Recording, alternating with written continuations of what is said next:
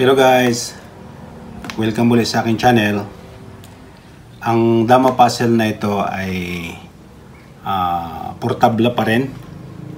At ah, isa, isa pa rin to sa aming ah, Dama Puzzle ni Tito Maki noon na medyo may kahirapan pero um, madali, madali din naman masolve. Lalo na pag ah, ang naglalaro ito ay magagaling. Pero pag hindi pa alam ang tamang tulak, ay medyo medyo may hirapan dahil um, hindi ito basta madali lang na puzzle. Hindi totoo yan. Um, Bola lang yan. ito ay ah, doon ang tungo ng ng itim at ang pula naman ay dito ang tungo, dito dadama. Pagtilak pag pagtulak ng itim, sabi ng itim ay tabla. Pero hindi payag ang pula na yan ay tabla. Yan talaga ay talo. So, kung gusto niyo rin uling lutasin kung ano ang tamang tulak sa Dama Puzzle na ito guys, ay pwede nyo rin uling i-post ang video para kayo na rin mismo uli ang makapag ah, ma- matuklasan nyo kung paano talaga ang tamang tulak ng Dama Puzzle na to. Nung itulak ito ng, ng itim, sabi ng itim may tabla. Pero hindi payag ang ang pula. Ito talaga ay talo.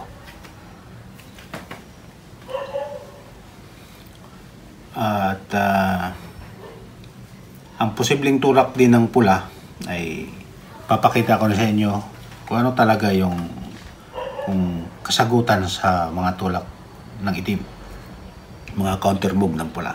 Halimbawa, pag tulak ng itim dyan, ah, haharangan niya dyan o kaya para hindi makadama doon. So, ang posibleng tulak naman ng itim, dito lang. So, kailan tatabla. Tabla talaga ang habol ng itim dyan. Ano ang tamang tulak ng pula? Pag dito naman ang pula, dadama. Dadama na ang itim. Siyempre, pag ah, nakuha ng itim ito, sigurado na yung tabla. Ah, dito uli tutulak ang ang ah, ang itim, ang pula.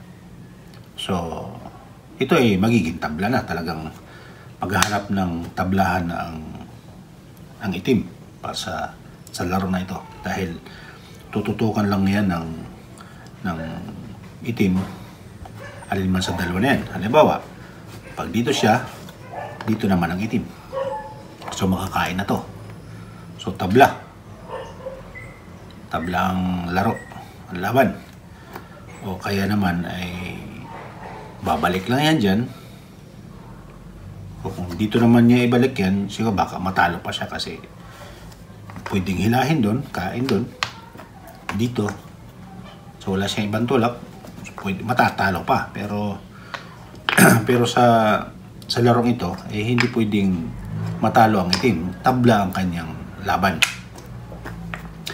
So, kung dito naman siya, dito lang yan, tadama uli. So, babalik uli dito. Kailangan mabalikan niya uli yan. Para para hindi pag nakapagpagit na ito, talo. Ah, tabla. So, ganun pa rin. Ah, ano ba tamang solusyon ng tira na to? Kasi wala na siya ibang pangharang din dahil ganun pa rin. Dito rin siya nakabase kung ano ang pwedeng tulak ng itim. Kaya tabla. Tabla pa rin siya. Ah, halimbawa, ah, um,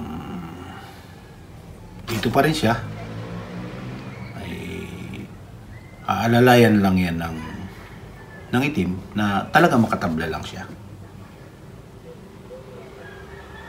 O kaya o kaya dito lang siya. Kasi pag dito talo. Kasi papakain ng to, talo siya. No, ang habulan talaga niya tabla. So, tabla pa rin. Kasi hindi siya aalis dito sa sa lugar na to. Tabla pa rin. Ano ba talaga ang tamang tulak ng ng dama puzzle na to? So, post nyo guys ang ang video para kayo na rin mismo ang uh, magsosolve na ano talaga ang tamang tulak sa tira na sa dama puzzle na to. Um, pag tira dito ay sabi ng itim ay tabla. Kung dito naman ang itim, ang pula, abante lang siya. So makukuha na niya ang gitna. So tabla pa rin. Dito naman siya, dito naman siya dadama. Tabla pa rin. Dahil pag ito naman ang itinulak, dos, lalo na. Ah, di pala, tres pala yun. Kasi tres pala. Pag dito naman, ganun din. Lalong tabla. So, ano ba talaga ang tamang tulak?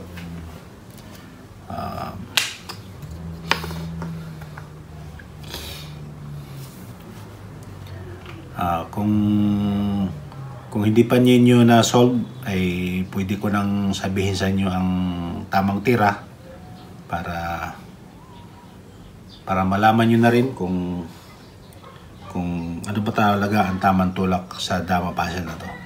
Ito'y medyo may kahirapan pero sa sa magagaling maglaro sa dama ng puzzle, ito'y madali lang. Pero sa mga baguhan, ito'y mahirap. Hindi ito basta-basta na kukuha ng mga baguhan lang na basta na lang tutulak. Hindi niya alam kung anong tamang kasagutan sa tulak na to. So, ito na guys, yung yung tamang solusyon sa dama puzzle na to.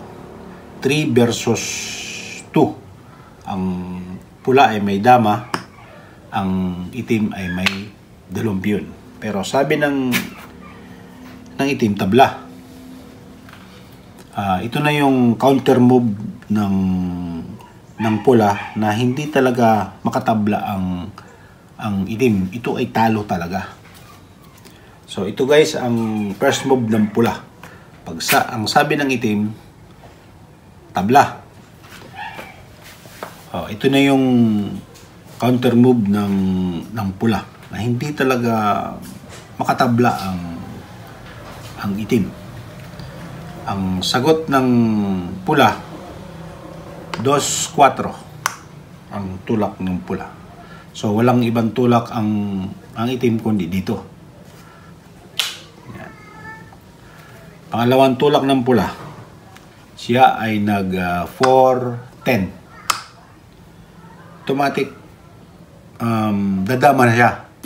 Dadama ang itim para para makatabla siya. Pero dito, hindi talaga siya makatabla sa tulak na to.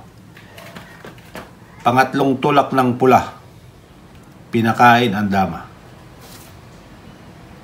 Kain ng itim.